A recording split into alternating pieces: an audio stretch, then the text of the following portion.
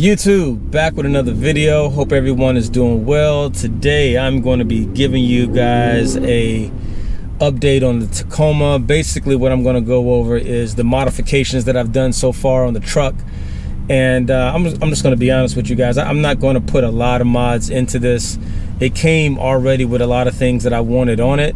So um, this will probably be one of two modification videos for the rest of this year um, in 2021 i'm probably going to end up needing some new tires so i may just go ahead and get some new wheels and tires next year and i'll do a video on that but other than that you know i'm gonna i'm gonna try to make this video short and sweet so um, I'll go ahead and start off with, if you remember the, the, the, first video I did when I introduced you to the truck, I did show some things that the previous owner already did.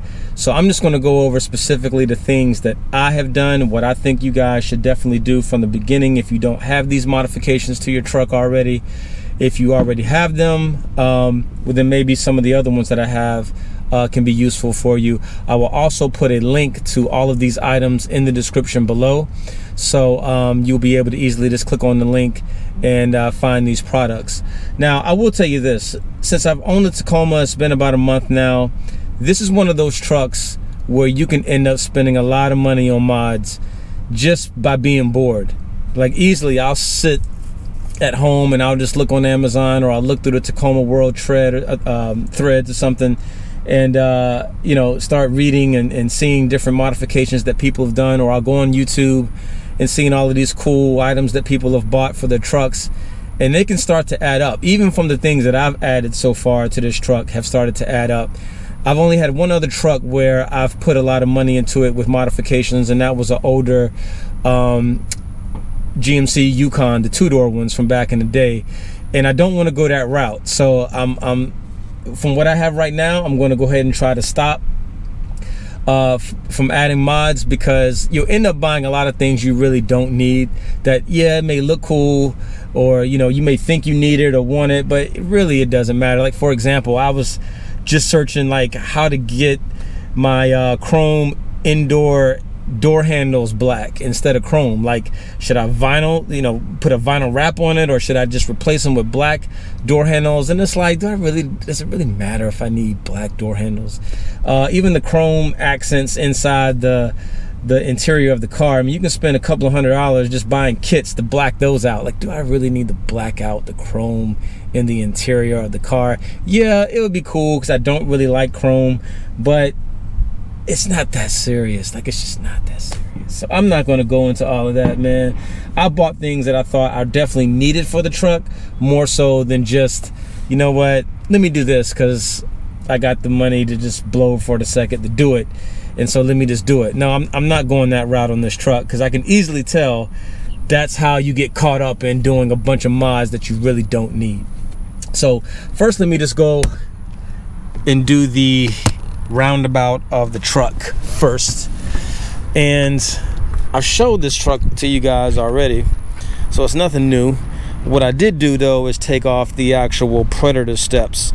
Um, and I'll talk about that in a, in a little minute when it comes to those. So this is the truck in case you guys missed the first video. It's already lifted. It already has, you know, a large off-road tire, but I'm going to go bigger next year when I get some new tires and different wheels. But for right now, that'll do. One thing I did add to this is the uh, front mud guard. This is by AVS.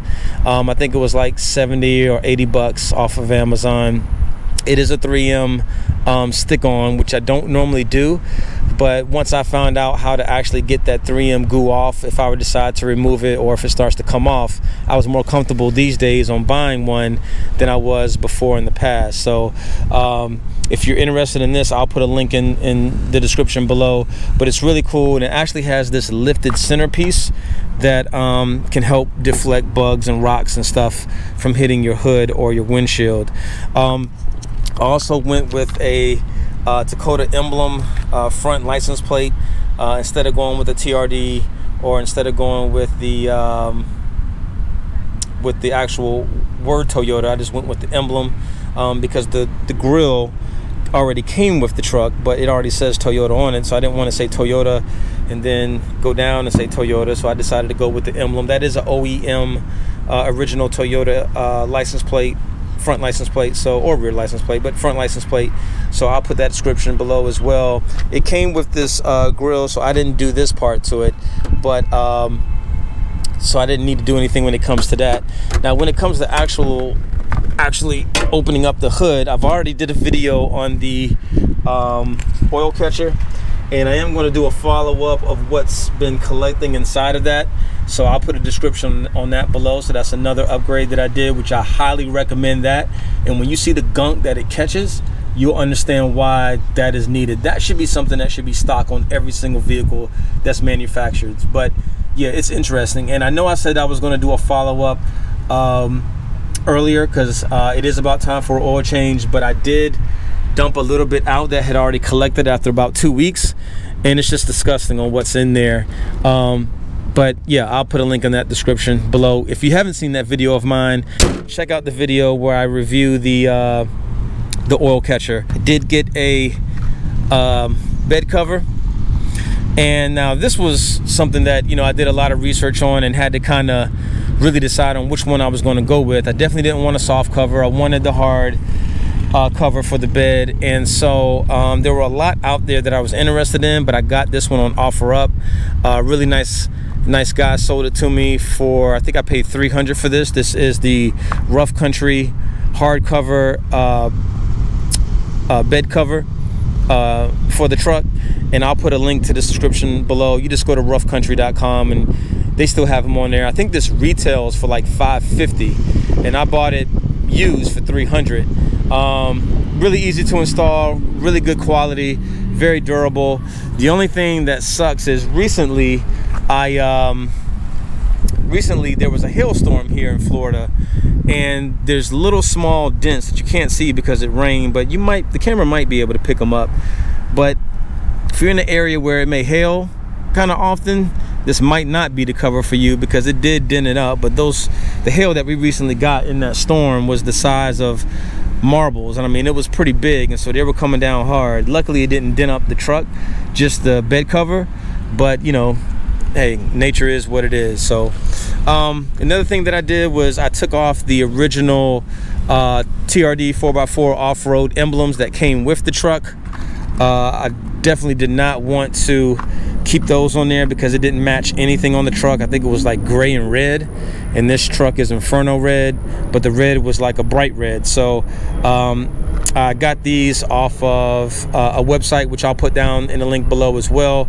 Uh, just blacked out TRD 4x4 off-road, easy to install. Um, and yeah, I just like the, the, the overall just plain black look of it. So another upgrade I did was to the fuel door cover.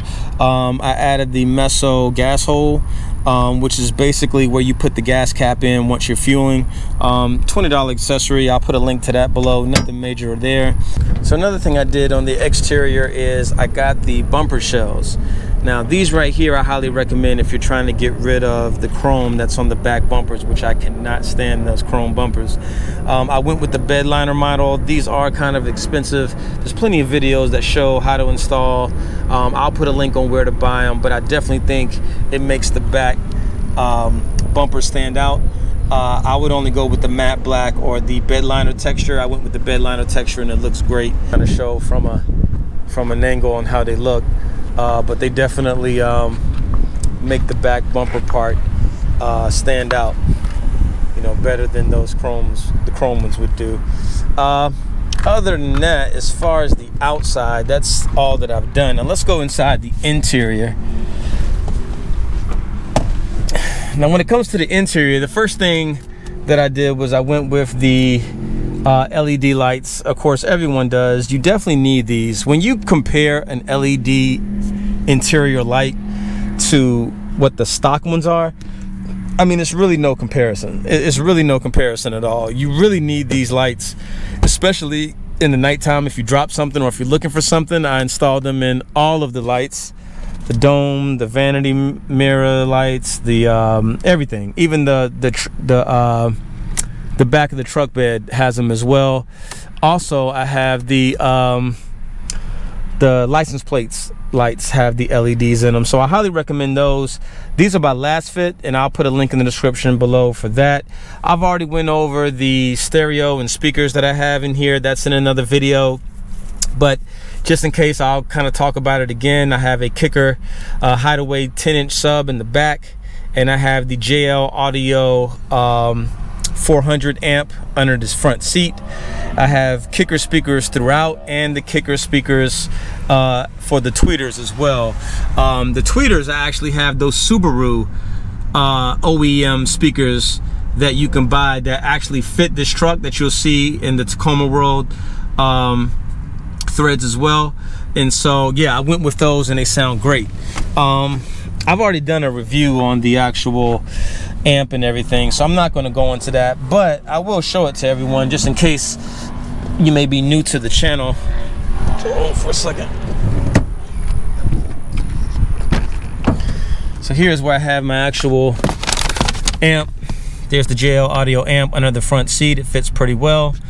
And then uh, in the back here is where I have the kicker um, 10 inch sub in the back and it sounds great no problems as well.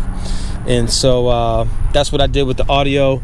The audio it isn't like bass bumping to the point where you know you're gonna hear me down the street but it definitely makes a huge difference when it comes to um, when it comes to the stock sound in the truck. Um, the truck did not come with weather mats. So I bought these. These are the OEM Tacoma weather mats. Pretty much everyone has seen these before. In the front they actually have the Tacoma name tag on them so I went with these. Um, I mean they're, they're nice. Usually people go with these or the WeatherTechs either one I think would be good. If you decide to get these go and OfferUp and try to find some locally because you can usually find these for like anywhere as cheap as 50 to 100 bucks. I paid 50 for mine. I actually saw one guy recently selling for 30 but I already had a pair. So um, but it was a really good deal on these weather mats if you can get them for 50 or less. Uh, I also went with the um, I actually did a video on this as well. The uh, the leather car seats um, by Lucky I think it's a Lucky Club or Lucky Man? I can't remember. But I did the review on these already so I'll put a link in the description below.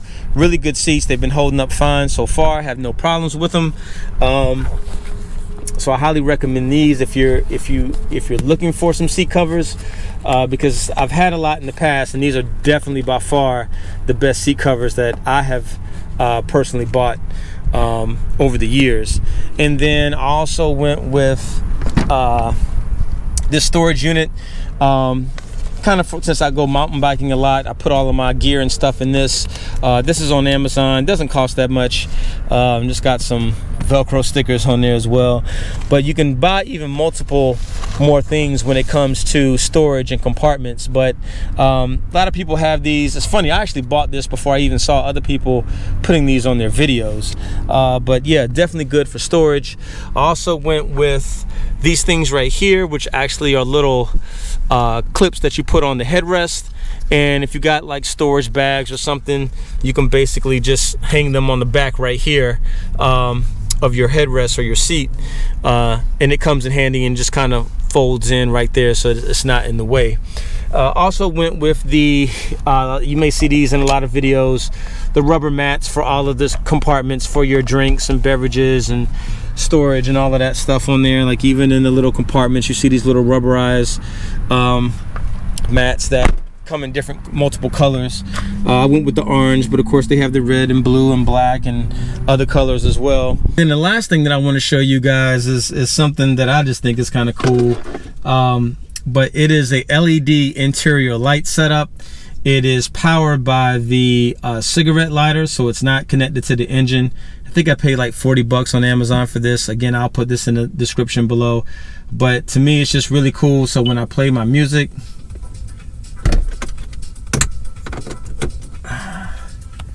not sure if this is going to pick up or not, but I have like a light show down here underneath the uh, on the floors, and so yeah, it's uh pretty cool. It's on both sides. You can kind of see how it uh how it lights up everything down here and you can actually set it to the music as well and um, you're supposed to put the other strip in the back you can actually see how it how it looks, the actual strip. But since I really don't have any passengers in the back, I just decided to uh, I just decided to uh, put it on the sides instead of the uh, instead of the instead of the back seats. And yeah, so I consider it at nighttime the party truck. Man, I have this thing lit up, you know, it's blasting. It's it's it's pretty fun and pretty cool. So uh, other than that, guys, that's all of the modifications that I've done so far with the truck. I don't personally see anything else that I need to do to it. Yeah, there will be a lot of cool things I could do to it. I could add some, you know, uh, what you call it, some, um, you know, some some different or brighter fog lights, or I could put, you know, some, I don't know, I, I, could do a lot to it. I could put some sliders on it. Of course, I do want to get some bigger wheels and tires, but that I'll save that for next year. I could black out the interior. I could, um, you know, I, I, mean, not the interior, but I could black out all the chrome in the interior. But I just, I just really don't want to do all of that. Like to me, it's just really not necessary. I could get a uh, video cam for it, which I may or may not do. That's still up in the air for now. But for right now, I think I'm good. I think I made all the mods that I need to make uh, for this truck at this point in time. But I do have one more video coming of a mod that I'm going to do, and that is the new uh, step slash running boards that I'm going to get for this truck. This is the reason why I sold my Predator steps. I've had the Predator steps on the 4Runner that I had before this truck. I sold them before I tra traded the uh, 4Runner in. When I got this vehicle, it didn't have any steps on it or any sidebars or anything.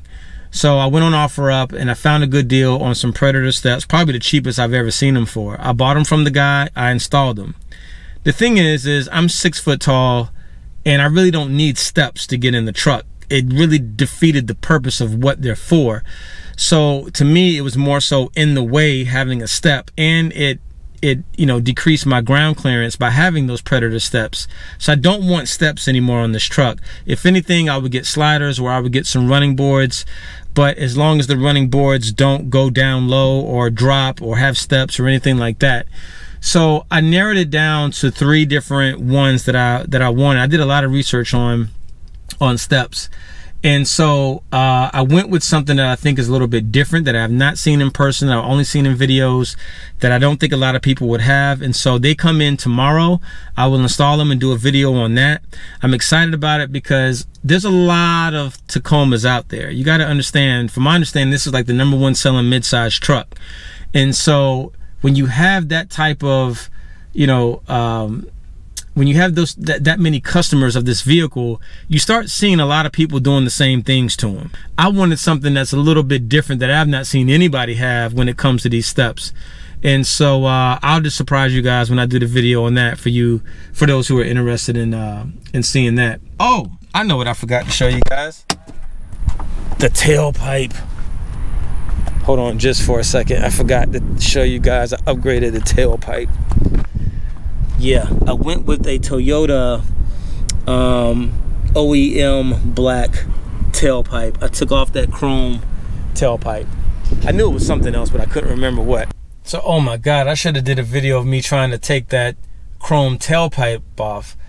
Man that that thing is uh it was no joke. Like you have to literally make sure that every single wiggle and pull that you do that you spray some WD-40 behind it to help it get it off. I guess, you know, the previous owner took this off road a lot and so or not a lot, but I could tell he definitely took it off road some. But any type of dirt or grit that gets in there, it makes it super hard to take that tailpipe off. I mean, it was the tightest fit that I've seen, I think, on any type of two items that go into each other. Like it was it was hard to get that thing off. Um, I think it took me literally about over maybe an hour and 15 minutes to pull that thing off. And I tried everything. I tried every single thing that you could do.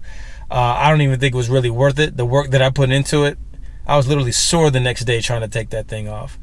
Uh, so just be prepared that um, if you have a truck that's used and it's been it's got some dirt on that tailpipe, you, are going to be into for some work trying to take that thing off. But anyway, I think it looks a lot better. And other than that, guys, that's about it. Uh, hope you guys enjoyed the video. Hope you uh, found something in here that maybe you can use or like. And I know it's a lot of mod videos out there, but that's just the ones that I went with. Other than that, guys, I hope everyone's doing well. I'll catch you in the next video. Be safe out here.